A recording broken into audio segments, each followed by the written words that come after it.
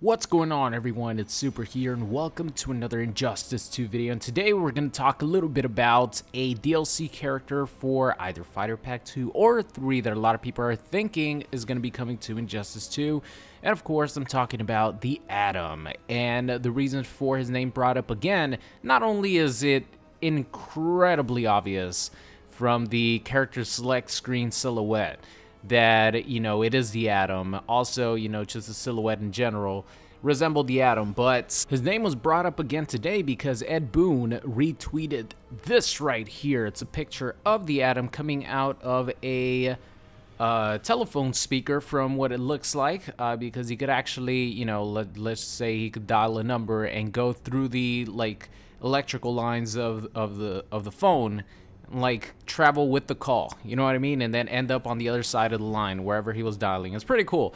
Um, that's what it looks like is happening here in this picture. Uh, the pictures from alex ross and he tweeted hashtag atom hashtag friday feelings. And ed boon retweeted this. So this is definitely uh, significant as far as the atom because like i mentioned earlier it's just he's a little bit too obvious, just like with Raiden and Black Manta. He's like, uh, who else could this character be? Um, so it's very interesting that Ed Boon would retweet something like this, knowing that a lot of people are thinking that the Atom is actually going to be one of the DLC characters in Fighter Pack number two or three.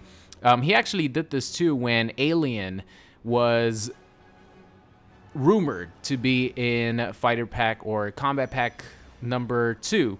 Uh, you know, a lot of people were saying, oh, Alien, Alien, Alien, and he would retweet a bunch of Alien stuff leading up to Combat Pack 2's release. So this definitely doesn't surprise me in the least.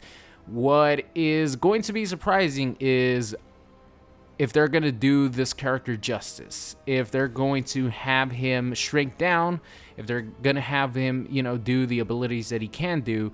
Uh, I, am sure like his super move is going to be out of this world if he's actually in the game. I'm sure they're going to have a lot of fun with the super move and just the different things you could do with it, with his powers, his ability to shrink, stuff like that. I'm sure that's not going to be a problem. Um, you know, maybe his his his regular throw, his back throw, stuff like that. They could implement, uh, you know, multiple things.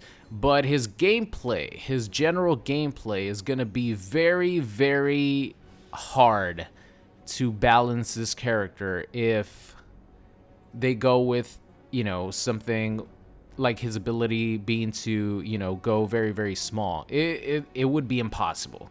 Um, so it wouldn't be surprising to me if they did have something like that for him, but it would be a part of his uh, gear set abilities because they did the same thing with Starfire. You know, Starfire, one of her main characteristics and powers is her ability to fly. And a lot of us thought that it was going to be her character power, and it didn't even end up being part of her core mechanics of the game. You know, you have to get it via an ability.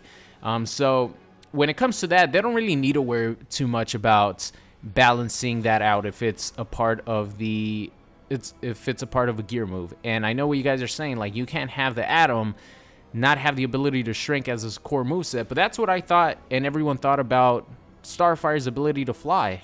And they ended up not giving her that ability, you know, just as her basic move set. So it definitely wouldn't surprise me if this character's in the game, but his ability to shrink or, you know, do something like that is part of a gear ability. But let me know what you guys think. Are you guys excited about the Atom if he does end up being DLC? And are you guys going to play him?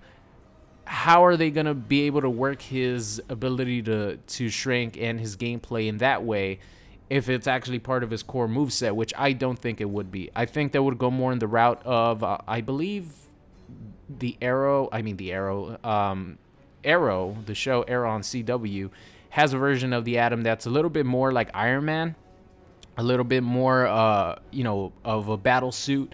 I think that's who they would go with instead of like the traditional Atom because he could have, um, you know, uh, cannons, stuff like that. But then again, if you have that character and you have him, you know, play like that, it would really remind me of um, of Blue Beetle. So I don't know how they would differentiate both, but I don't know. NetherRealm is definitely gonna do something with this character if he's actually part of the DLC, which by all accounts it looks like he is going to be. Um, so let me know what you guys think of the Atom, making it into either Fighter Pack 2 or 3.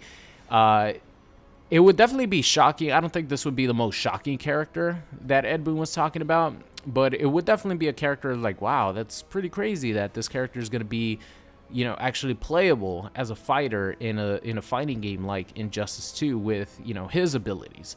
But we're going to have to wait and see. That's going to be the end of today's video. Hope you guys enjoyed it, and I'll see you guys next time. What's going on? It's Super here, and thank you for watching today's video. I hope you enjoyed it. If you did, make sure you guys subscribed if you are not already. Also, check out any of these videos linked at the top. Thank you for watching, and I will see you guys next time.